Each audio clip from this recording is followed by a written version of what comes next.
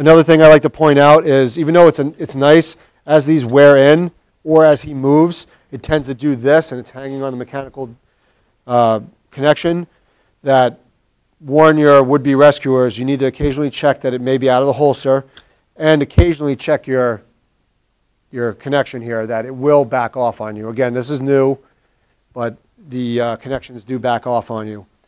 So as Joe turns around, you'll also see the, the single stage pressure, pressure reducing block.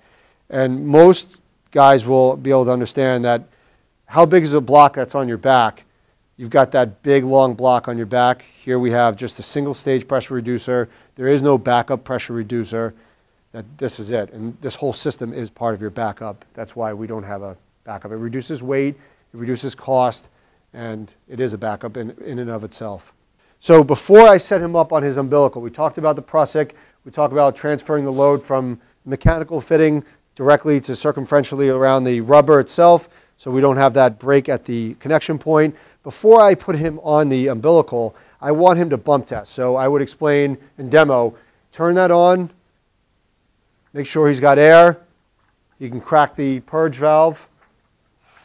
He, know, he, he knows that his, his harness and his bottle is good. He's obviously looked at the regulator, he's uh, at the, the gauge, he knows he's got air in it, but he knows it's working properly.